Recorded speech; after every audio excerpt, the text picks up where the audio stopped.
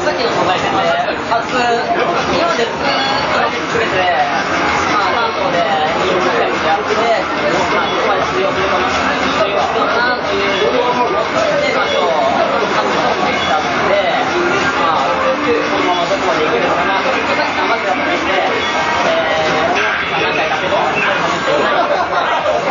はい、田坂さん、じゃあそれを受けて。なんか嫌な予感しかしないんだけど、まあ精一杯やります。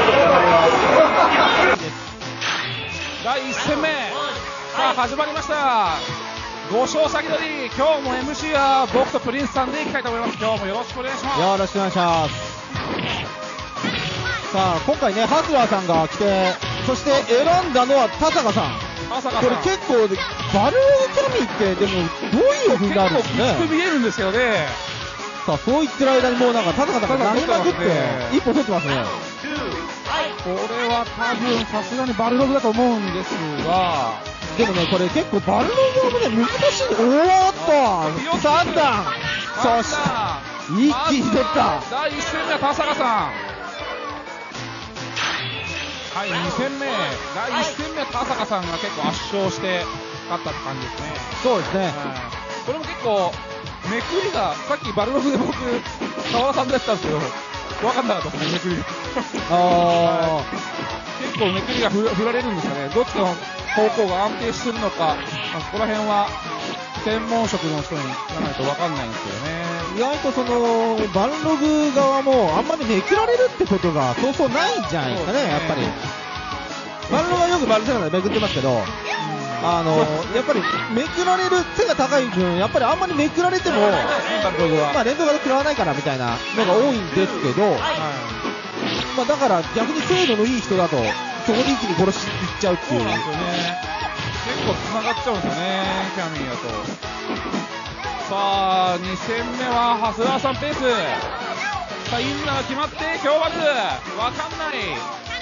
さあ、キャノンが出たが、感覚は取れなかった。さあ、フリガン。さあ、こっからはわからん。さあ、つなぎが、ちょっと落ちまった。ハスラーさん取り返して1勝1敗。さあ、1勝1敗で、第3戦目。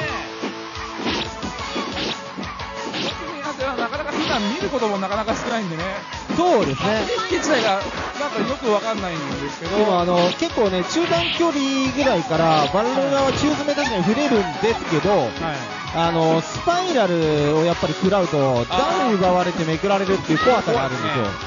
で、今度それを張っちゃうと、あの、フーリガンが通られるんですね。あーフーリガンもこうやってで、フーリガン取ってダウンさせられてっていう、結構ね、両方張るっていうのはやっぱ難しいんですよ。あですねさあ、春日さん、だいぶ動きに慣れてきた感じか？ドーバルでもああよ切る。はやっぱりバルローズが長い分、やっぱり。あーこれはゴミが入るうわ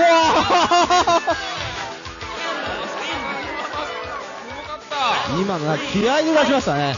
あれすごいですね。バルログに結構衝撃の技って結構で僕は出ないんで、伊藤さんとかすごいと思いますね。本当本当にうまいんで、やっぱり。さあ、壁蹴ったところ、シャドウスパイク。おあー、逃がさんぞと。さあ、テーラーで切り返して、さあ、先出しの爪。さあ、下段、投げにはいかず下段。さあ、また、スライディングのところに飛び込み。まさに正面。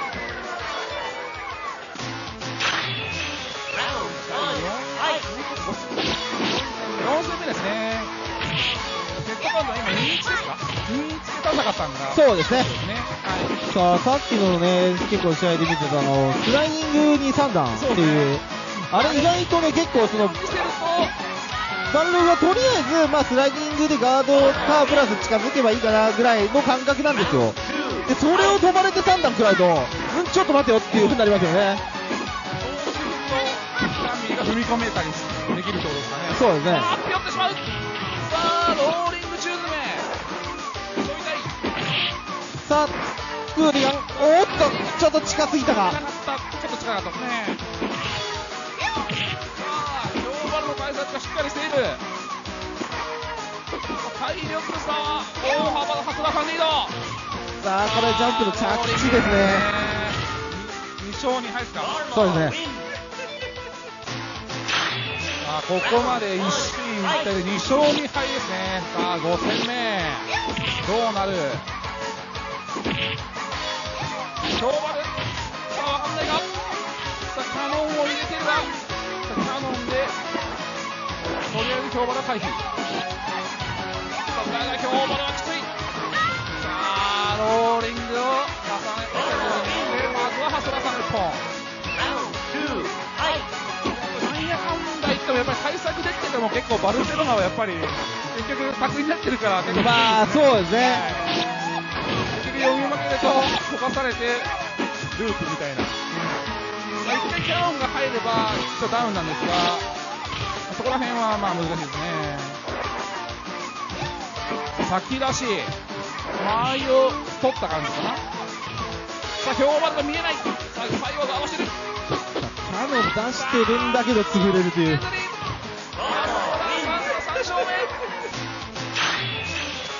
第6戦目。3勝2敗ね。1つアドバンテージがあるのは蓮田さん。めくりにはテラーで回避。まあ、とりあえずね、逃げたいっていうのがやっぱありますよね。キャミーの巡りがやっぱり、それほどやっぱりバルログも怖いっていうことですから。こうなると死んでしまう。最後はフーリガンシューテまずは田坂さんが1本。やっぱりあれめくり見えない。んですねそうですね。はいやっぱこれがあると、こうなるんですよね。こう、うわもう、飛べない。飛ばさない。今のはすごい。スライディングこれ評判ルループするか？遅らせて評判あれは意図的にやったのか？さあバッテンね。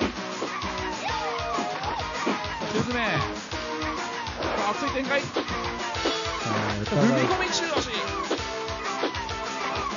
ーリング。体力は5分ぐらいかさあうまい。さあ、こう先出しにいたし、あーっと。悪くなかったがちょっとですね距離がある。そうですね。ちょっと近かったですね。さ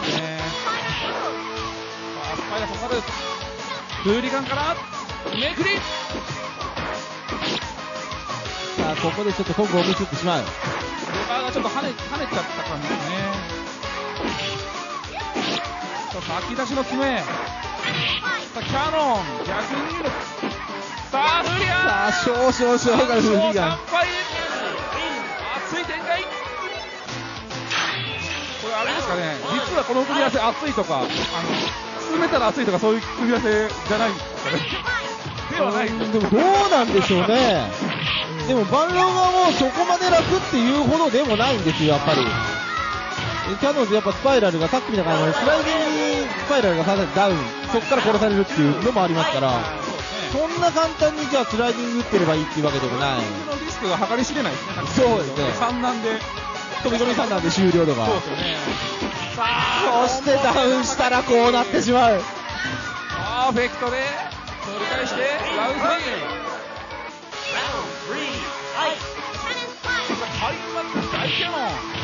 やっぱりね、ああいうのも全然、あの開幕の中詰めとかそういうのに対して、さあまた4段。4ヒットがちょっと光りますね。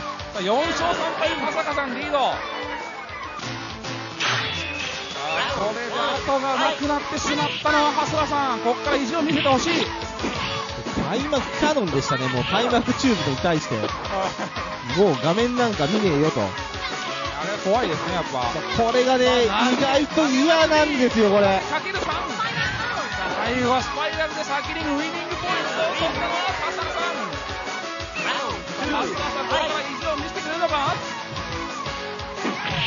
テラーしっかり溜まっている京バルはキャノンで一度仕切り直すさあ中央詰めにキャノン。うわ、すごい。こうなるとちょっと、手出しづらい。出しづらいですね。かといって何もしてないと踏み込まれる。そう、こうなってしまう。使ってしまった。集中さあこういうのが、さあさあめくり打ったのは田坂さん。おめでとうございます。すごい。コメントをいただきます。はい、ハスラーさん、3勝でしたけど、これ、手応えあった方なんでしょうか？いや、まあ、あった方かなと思います。今まで、あの、そこまで、僕だったことはないんで、まあ、そこまでできたら次は、勝てるかな。はい、田坂さん、次はということです。前よりやっぱり全然やばいです。